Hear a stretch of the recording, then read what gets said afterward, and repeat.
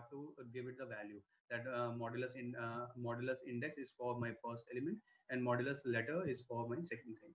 And then you run it. And let's see if still there is an error. Not yes. Now there is an error. What the error is? Error says not enough values to unpack expected to got one. That means what is happening here is the uh, error uh, is basically shown in this particular loop right for index and letter. So what is happening here is i want to access two elements that is i want to access index as well as letter but i am only giving it only one thing that is i am only providing it my sequence. So what python basically does is although our understanding is correct right because uh, the index and letter both are present in this particular string only but what python doesn't understand is python thinks that index and letter the user wants it from two different strings but we don't have two different strings we just have one string. So python doesn't understand this. So that's why it says that expected to and got one. That is it expected to. That because we have defined two things here. That that is we want two things. So python expected that there should also be two strings here. But we have only given one string. So that's why it says that expected to and got one. So that's an error. So to rectify this what you can do is we will be using another inbuilt function of python which is known as enumerate now what this enumerate basically means is it will iterate over your string. That means whatever string you have so my string here is my sequence. So what this enumerate function basically does is it uh, it is an iterable function. That means if you don't have if you if you are getting any kind of this type of error where from a single string you want to access two elements what you can do is you can just write enumerate so what this enumerate will does is it will tell python that no the user is not giving two strings. It and the user is asking to give you two values from one string only. So what enumerate will does is it will keep on iterating this sequence only and allow python to give you the required result. So once you print this thing and uh, you see the output so here you get an output. Now output says 0 equals to A, 1 equals to T, 2 equals to G. So for every indexing, it is giving you the corresponding element as well. Now, one more thing you have to keep here in mind is a general enumerate function. The syntax of an enumerate is the string that you are giving followed by a value. Now this value can be anything, okay? Now here we haven't given any value. So if you don't give any value, the by default Python consider it to be zero. So that's why it's giving you from the zeroth element. Okay. But you can also access it from a particular element. Let's say I want to access it from two, right? So I will just write my sequence, comma two. And then if I print it, it will give me the output, but that won't be my desired output that I want. So let's see what it gives. It will start your indexing from two. It won't start from zero it will start indexing your numbering from 2 but it will still correspond to a but the thing is we know that the index of a is 0 but the output is saying that index of a is 2 right so here this thing doesn't work out this thing will work out when uh, you will be working with the algorithms whereby you have a particular set of algorithms thereby so instead of writing anything to just start uh, make it 0 uh, by default you will take the value of 0 and start the indexing from 0 onwards is this clear with everyone Yes, sir. Yes, sir. Okay. So basically, you will be using enumerate pretty often uh, from now onwards, but like uh, not that much. But it will be required in certain case, certain scenarios uh, whereby it becomes difficult for the people to like you know give uh, access to values from a single string. Also, this thing you have to be pretty much clear about here modulus i and modulus s and what these things basically stands for and how you will be providing the values to this. So just keep this thing in your mind. When you are accessing the indexing and the corresponding element value in this way don't write a comma here because if you write a comma here then that it will show an error okay? You are directly indexing it from that particular way so you can write it in this way. Uh, even you can access uh, like just uh, in string you access a particular element. You can access your uh, element from here as well. Let's say you want to access uh, my sequence and then just write whatever element you want. As i want my fifth element of my sequence you can just print it and it will give you the corresponding element as c. So whatever attributes which are true for a general string those are also true here because here we are just uh, whatever dna sequence that the user has given it is basically a string only so whatever attributes are true for string that will be true here as well so in this way you can also access your individual uh, elements you can also uh, count uh, your number of bases. So let's say you have uh, uh defined this particular DNA sequence and you want to count uh, a particular set of uh, numbers. Let's say I want to count how many ATs are there. Okay. So now what this will do is that you can again use an inbuilt function of Python, which says, let's say print my sequence and the inbuilt function is dot count method, right? So we'll write dot count. Now in the parentheses, in the parameter, you have to uh, make Python understand what exactly is that you want to count. Okay. So here, let's say I want to count my number of uh, adenine bases. So I'll write my sequence dot count A. Okay. And then I'll just run the program and it'll say five. So that means there are basically five adenine bases which are there in my this DNA sequence. So you can count as well A, A, A, A, and A. So there are basically five. You can repeat it as well. Let's say I want to count my AT so you can individually do it as well let's say you want to count individually let's say you want to count t and you can do it and it will give you the corresponding count of t as well also sometimes what you can do is you want you can count the pairs as well. Let's say you want to count how many AT pairs are basically there. So then you can run it. And then uh, it will say that okay there are 280 pairs. So what basically this does is it first count the a and then say t. It says that a and t are together and this is my pair. So it considers this pair as one. And then it goes again uh, next next next. And then again it sees an AT pair. It will count it as two. So it gives you the output as two in the similar way you can count a gc uh, pair as well or ag pair as well whatever pair you want. So that is a basic uh, inbuilt para, uh, like uh, code for python. That is dot count method.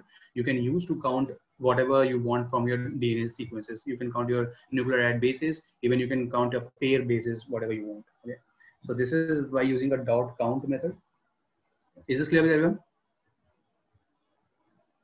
Yes, sir. Yes, sir. Okay. Now, one of the very important thing here that we have to focus is, uh, and you will be also quite often uh, facing this particular problem or an exercise problem, is to count a GC content or an AT content in your DNA sequence. Okay. So let's say I have this sequence here with me. Let's make it a bit long. Let's say not right. Now I have uh, this as my sequence now I say that, okay, uh, find the GC content of this sequence. So the very first thing that you have to keep this thing in mind is uh, to understand the formula of how can one calculate the GC content of any particular DNA sequence. So either it can be a GC content or it can be an AT content.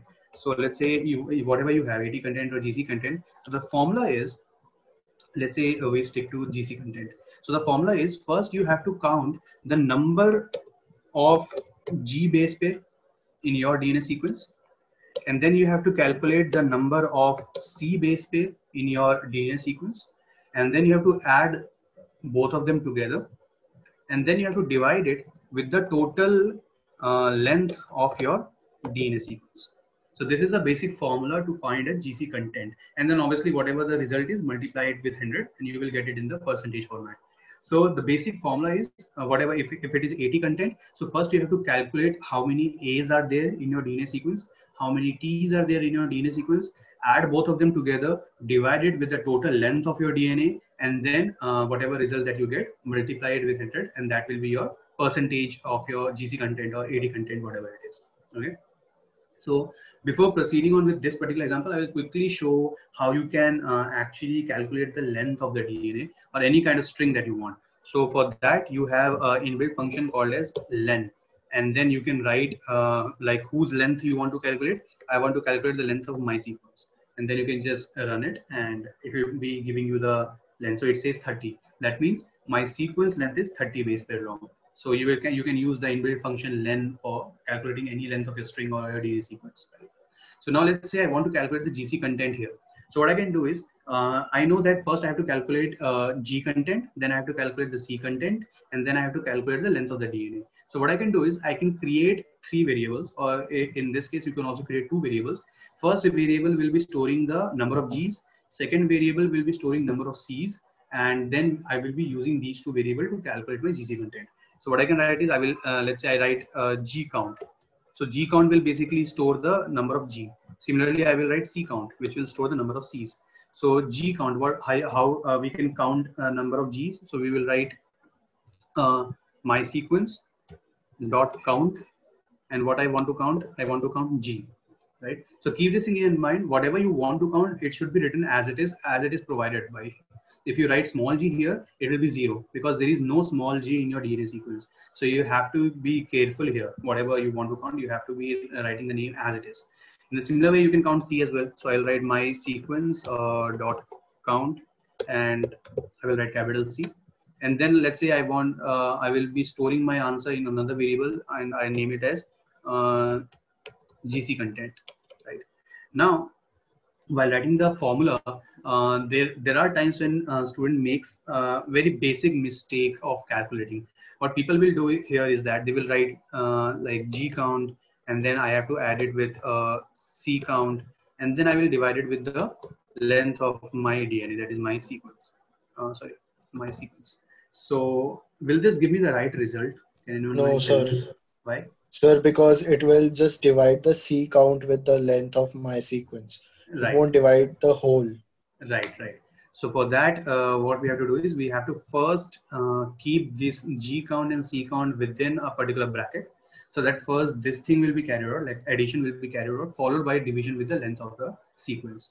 So this is where my GC content is calculated. Now I just want to print whatever my output is. So I can print, uh, let's say GC content.